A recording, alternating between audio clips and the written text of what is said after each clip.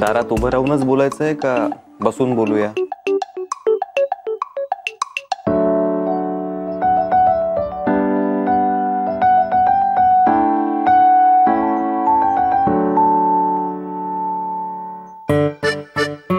घरचे खूपच समजूतदार आहे तुझ्या. मग तू का अशी खडूस? अजिबात नाही. घरचे समजूतदार नाहीत? मी खडूस नाही.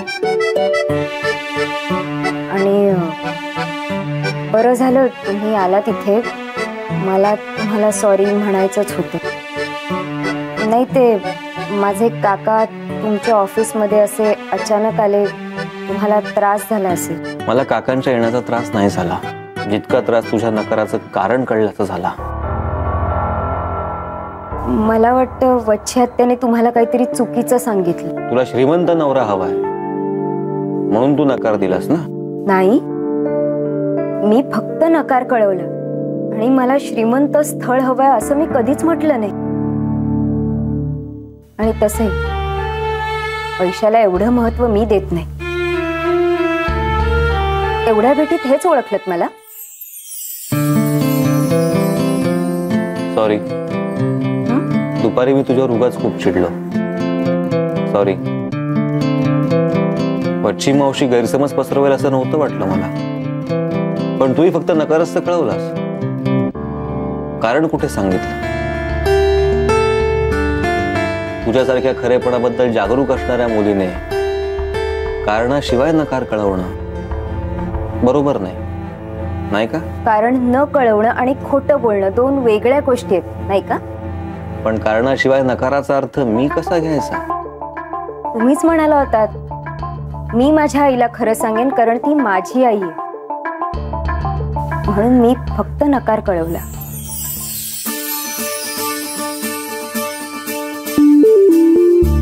काय?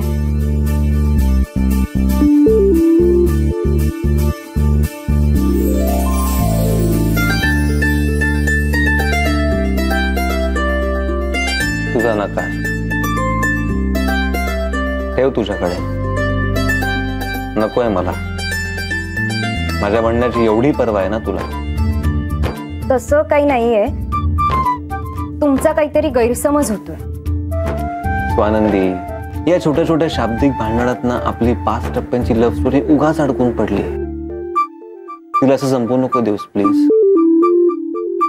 कारण मला पूर्ण खात्री आहे की ती पूर्ण होणार. माझी इमोशनल इन्व्हेस्टमेंट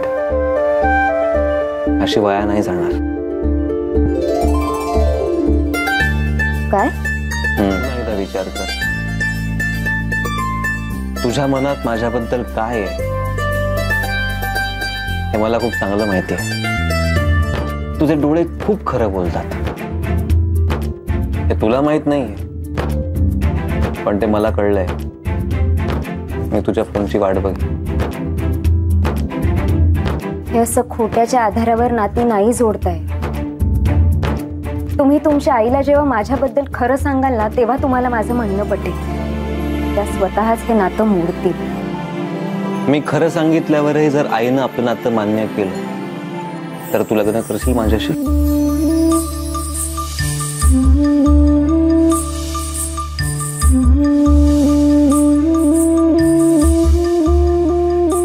तुझं उत्तर मला माहिती आहे स्वानंदी पण तरी ते मला तुझ्या तोंडून ऐकायचंय.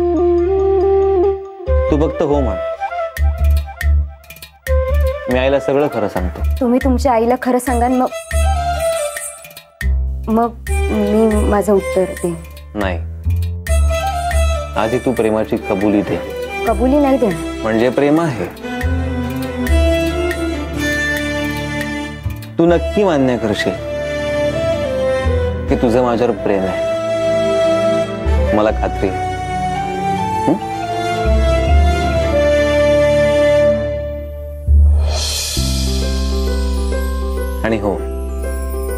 तुला काजळ नीट नाही लावतायत? हं? नेहमी एका डोळ्यात कमी काजळ लावतेस. हे जाणणार नाही लग्नानंतर मला?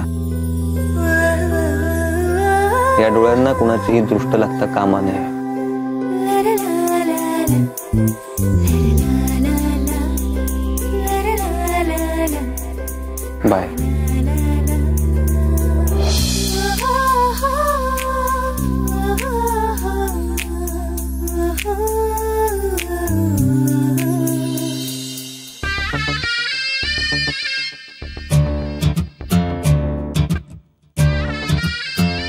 लग्नात या वच्छेला विसरू नका रे पोरांनो.